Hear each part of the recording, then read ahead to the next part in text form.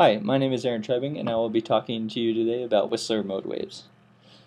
They arise from thunderstorms and lightning, which basically occur because of cloud-to-cloud and cloud-to-ground interactions, and, and basically due to an uh, imbalance of charges between them. Um, and this causes an electrical breakdown of air um, at a certain voltage, basically, um, such that they must discharge and cause thunder and therefore lightning.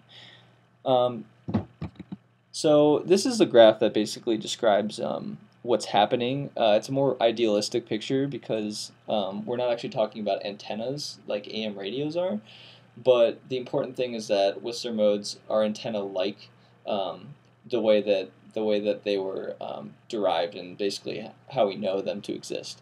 Um, so this is just a very rough estimate of how they how they uh, actually act. And so now I'm going to show you a video to kind of give us a more realistic interpretation. So as you can see, one lightning strike goes off, and it and it carries on um, from this portion of the of the region or of the Earth to this part. And so what what has been done is that Antarctica has set up a, a base or um, a station in the South Pole in Antarctica, obviously, and they've been picking up um, lightning from their conjugate point, which is the eastern seaboard um, of the Atlantic Ocean. Um, so basically, they've been picking up a lot of great data about the lightning storms in the area. And from this, they can find out, they can start to figure out a lot of information about the relativistic electron um, populations in general, and uh, also just for lightning in other planets some of the vocabulary that we'll be using includes um, spherics, which are impulsive crackling due to the broad spectrum radio bursts. Tweaks are spherics subject to dispersive distortion due to subionospheric propagation.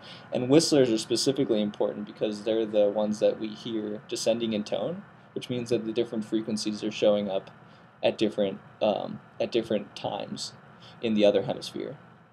Um, and they range between 1 and 30 kilohertz. And a hiss and chorus sound will also be found due to this, due to different um, reasons. Here's another video I'm going to show you. And this is basically an actual readout of lightning occurring. See these tones right here, the sounds, are the whistlers and those are what are analyzed. Whereas you can hear the crackling and the popping as or the popping as well. Um, so the Stanford Very Low Frequency Group in, in Antarctica has has picked up these values, and notice how the chorus and hiss are somewhat linked. Um, well, they're not necessarily linked, but they've been uh, theorized to be possibly linked. Whereas the whistlers are very distinct and have their own thing going on.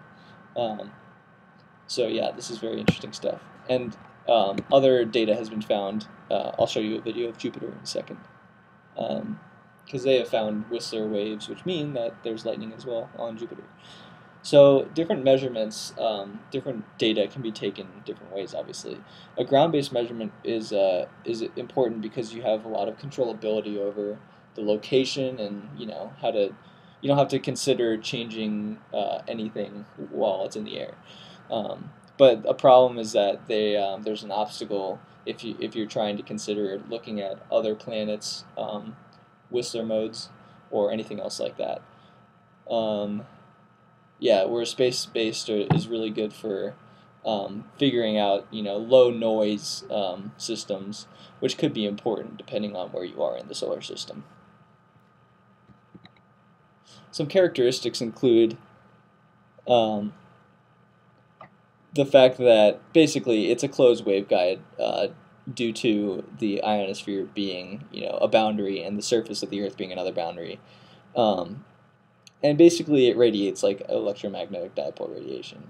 Um, it's not it's not exactly like that, and as you can see in the in the graphs, they're not they're not perfect, um, and I think the cra the crackling and the hissing noise are specifically a reason for that. But yeah, Whistler waves, uh, Whistler waves has also been examined to learn about different atmospheres, such as Earth, Earth Venus, and even Jupiter. So, what, how, how these were derived was basically um, with using the uh, right-handed circularization um, plane wave and uh, basically different frequencies reach the conjugate point at different times, like I was saying. So that's how you get the the sweeping noise, the sweeping sound. Basically, yeah, it acts as a virtual waveguide caused by the B field of, of lines of the Earth, um, which is caused by the, the the molten core, outer core of the Earth. Um, but yeah, these are just some consequences of it that, that came about by Kimura's research. And here's an actual graph of, um, of the trajectory of a path. And so basically ray tracing uh, techniques were used to, to, to consider all four of these um, results. And basically from this, a lot of information can be found. Um, and obviously, like I was saying, uh, they, they found lighting on Venus, but it was nearly circular polarization, which is exactly what we expect. And the wave components are nearly at 90 degrees out of phase, which makes sense as well, since we know that E must be perpendicular to B and B must be per perpendicular to, to K. Um, yeah, so I think that's my paper. Sorry for it being a minute too long, but uh, thank you.